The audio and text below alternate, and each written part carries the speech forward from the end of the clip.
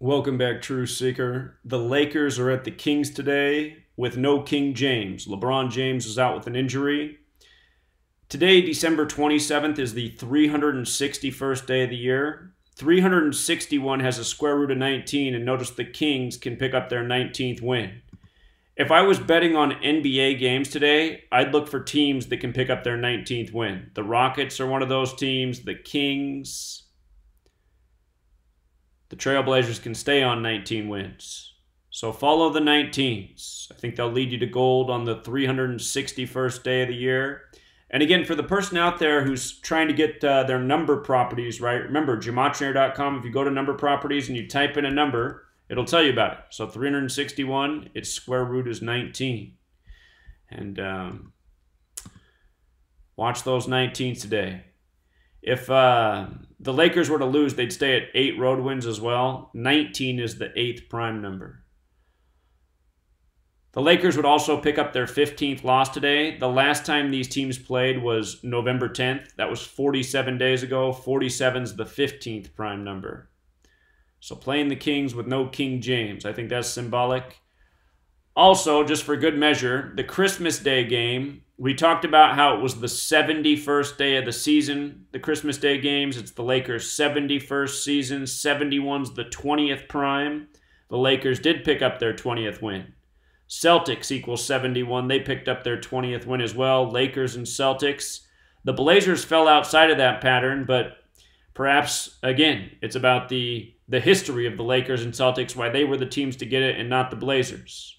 Not a team that's been in, you know, nearly every NBA Finals championship like the Lakers and Celtics have. So Again, if you watch the uh, Christmas decode, the game that I really liked was the Rockets over the Thunder. A lot of numbers lined up, had the kind of alignment I like to see. But again and again, the outcomes of the games are dictated by the date numerology and the sequence of the date within the NBA season.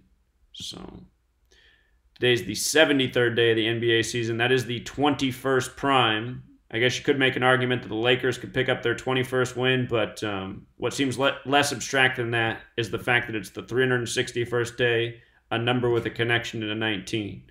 So I'd follow the 19s today. I suspect those will be the riddles. All right, True Seeker. Actually, I was about to sign off, but I'll tell you one more thing that I thought was funny about this Lakers game.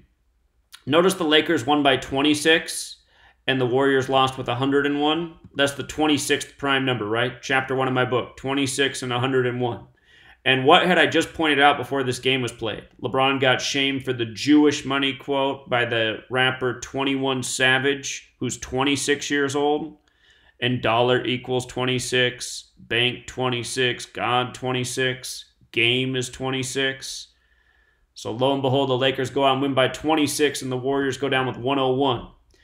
And um, I believe when LeBron was injured, the score was 76 to 68. So the the Lakers had an eight point lead, and then they ended up winning by 26. Something to keep an eye on tonight. How the Lakers perform without King James. But uh, Going with the date, I got to go with the 19s. All right, True Seeker. Until next time.